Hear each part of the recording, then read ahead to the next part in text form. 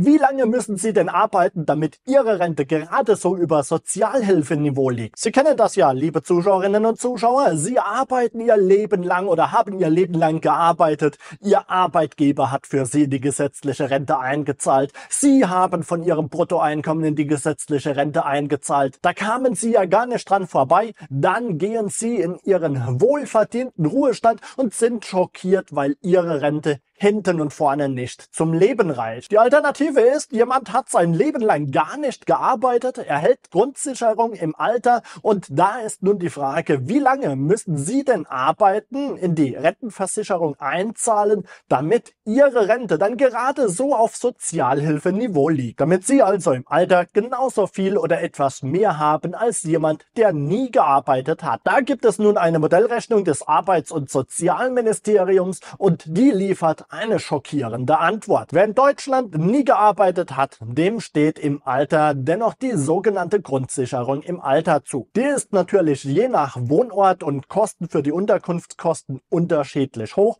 Das ist individuell, da kann man keine klare, eindeutige Zahl nennen. Aber wenn man vom Bundesdurchschnitt ausgeht, dann betrug diese im Dezember 2022 rund 862 Euro monatlich. Der Spiegel hat nun berichtet, dass es eine Modellrechnung gibt, eine neue Modellrechnung des Arbeits- und Sozialministeriums. Und nach dieser Modellrechnung kommt heraus, dass deutsche Arbeitnehmer erst nach mehr als 27 Jahren Erwerbsarbeit eine Rente in der Höhe erhalten, die der Grundsicherung im Alter entspricht. Meine Damen und Herren, 27 Jahre müssen Sie arbeiten und ganz wichtig, 27 Jahre müssen Sie nach dieser Modellrechnung das Durchschnittseinkommen in Deutschland verdienen. Wenn Sie sich jetzt mal vor Augen führen, ich habe Ihnen ja schon aufgeführt, wie hoch das Durchschnittseinkommen ist, gehen Sie mal davon aus, dass ein Großteil der Bevölkerung weit weniger als der Durchschnitt verdient und nur unter der Prämisse, Sie haben 27 Jahre lang exakt wie der Durchschnitt in Deutschland verdient, dann bekommen Sie eine mickrige Rente,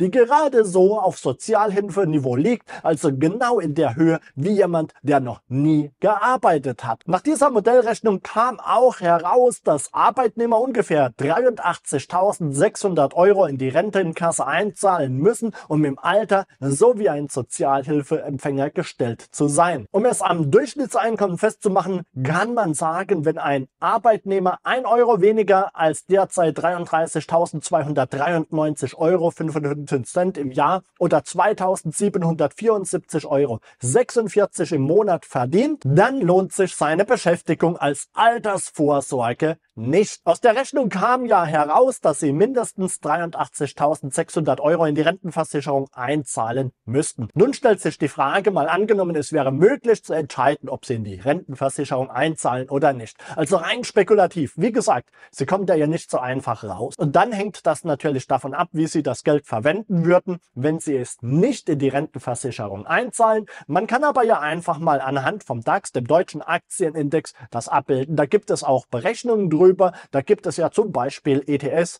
die zum Beispiel den DAX abbilden. Und wenn Sie da die Berechnungen sehen, sich die Historien anschauen, dann gewann der DAX seit seiner Normierung im Dezember 1987 im Durchschnitt 7,9 Prozent hinzu. Wenn ein Arbeitnehmer nun also 27 Jahre lang seinen Durchschnittsbeitrag zur Rentenkasse anstelle die Rentenversicherung in den Aktienmarkt investiert hätte, dann hätte er nach 27 Jahren 269.000 Euro. Würde dieser Anleger das Geld im Anschluss nie antasten, sondern nur von der jährlichen Rendite leben, dann hätte er monatlich brutto etwas über 1600 Euro oder nach Abzug der Kapitalertragssteuer und Solidaritätszuschlag dann ja also netto netto knapp 1200 Euro zur Verfügung. Es gibt auch Modellrechnungen, die gehen davon aus, ein risikoscheuer Rentner dann, er legt sein Geld nicht mehr an, sondern verbraucht es nur noch, hat es quasi unterm Kopfkissen liegen. Nach der risikoscheuen Bewertung kämen anstelle der 269.000 Euro nur knapp 200.000 Euro raus, die dieser Rentner dann für den Rest seines Lebens zur Verfügung hätte. Man hat dann mal gerechnet bei einer durchschnittlichen Lebenserwartung von 80,5 Jahren und einem durchschnittlichen möglichen Renteneintrittsalter von 66 Jahren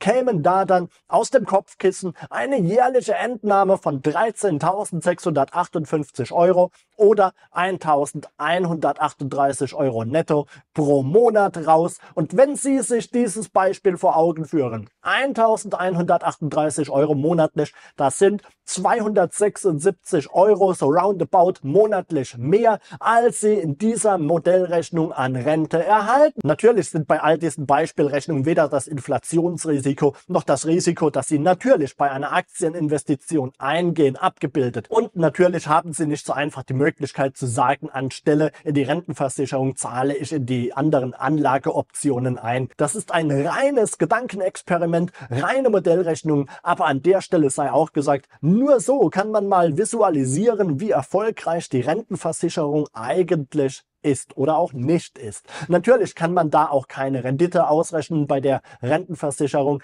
denn durch das Umlagesystem ist es ja so, dass die aktuelle Arbeitnehmergeneration die aktuelle Rentnergeneration finanziert. Es gibt da keinen Topf, wo Sie Ihre Beiträge einzahlen, die explizit nur für Sie verzinst werden und dann ausschließlich für Sie ausgezahlt sondern je weniger Beitragszahler einzahlen, desto höher werden die Beiträge und desto problematischer wird die Finanzierung der Rente durch die Rentenkassen. Aber wie gesagt, ich finde schöne Modellrechnung gut, dass die auch mal herausgegeben wird und wie gesagt, alles andere ist einfach nur ein Gedankenexperiment, mal mit Zahlen rumgespielt. Aber schreiben Sie mir gerne mal in die Kommentare, wie Sie das finden, ob solche Gedankenexperimente, solche Modellrechnungen für Sie hilfreich sind. Einfach so zur Einordnung oder eben nicht. Würde mich mal freuen, freuen. Dafür sind die Kommentare ja da, dass Sie da was reinschreiben. Ansonsten soll es das von mir für dieses Video gewesen sein. Gerne sehen wir uns in meinem nächsten Video. Ihnen bis dahin eine gute Zeit. Das war's von mir.